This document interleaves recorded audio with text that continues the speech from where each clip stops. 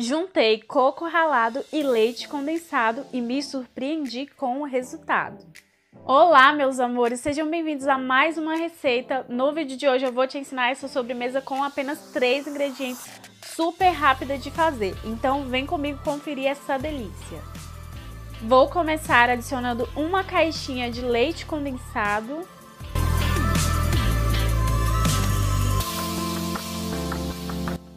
uma caixinha de creme de leite, 50 gramas de coco ralado. Eu estou usando coco seco, mas se vocês quiserem, vocês podem usar o coco fresco, tá bom? E agora é só misturar tudo muito bem com a ajuda de um fouet ou de uma colher. Você não vai precisar de liquidificador. Olha só que sobremesa fácil, né, gente? Já merece o seu like, hein? Prontinho, já misturei bem. Todo o trabalho que a gente tinha que ter com essa receita já acabou, gente. Dá para acreditar? E fica nessa consistência líquida mesmo, tá, gente? Agora é só levar ao freezer por aproximadamente 3 horas ou até essa sobremesa ficar firme. E vocês viram como é fácil essa sobremesa. Se vocês quiserem que eu traga para vocês uma sobremesa com apenas dois ingredientes, comenta aí. Traz uma sobremesa com dois ingredientes, ok?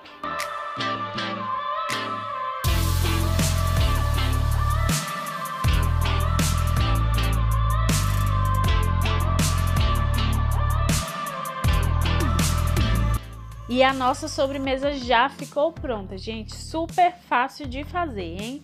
Olha só a textura que fica. Fica parecendo um sorvete. Nossa, fica muito boa essa sobremesa. Vocês precisam fazer e experimentar.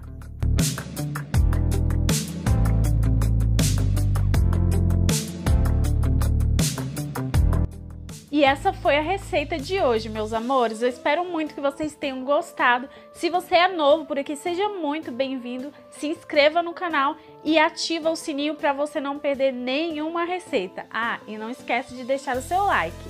Eu vou ficando por aqui. Um super beijo e até o próximo.